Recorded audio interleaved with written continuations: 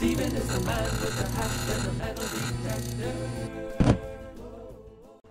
Hey, welcome to my video. My name is Stephen. I'm the man with the hat.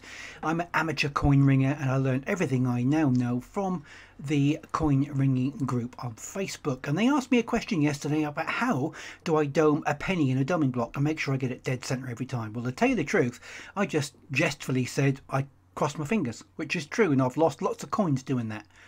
But here's a way you might be interested in after playing around today. If you put a lump of Blu Tack in the doming hole, a little bit more on top, don't compact it full, otherwise there's nowhere for the coin to go. And then using eye, and that's as best as you can do, unless you can find a better way than me, put it what you think is dead center. Now that stops the coin moving, which I found to be the worst problem.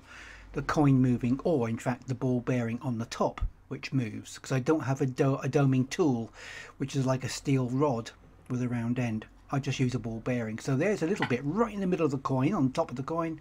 That means I can put the right size ball bearing on top without it moving. Like that. You can shake it and whatever you want, it won't move.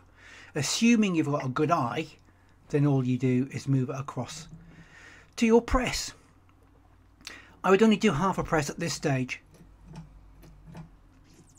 and then check it. And don't forget, of course, it is going to be taking up the space in the doming hole where the Blu Tack is. So you want to really take it off, do a second press after removing the Blu Tack. And you get left with a nice little dome. I take that Blu Tack out and finish it off.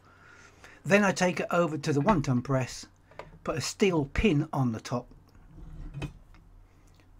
make the crease in the hat but of course everything else you already know. So thanks for watching and please do subscribe to my YouTube channel if you found this helpful.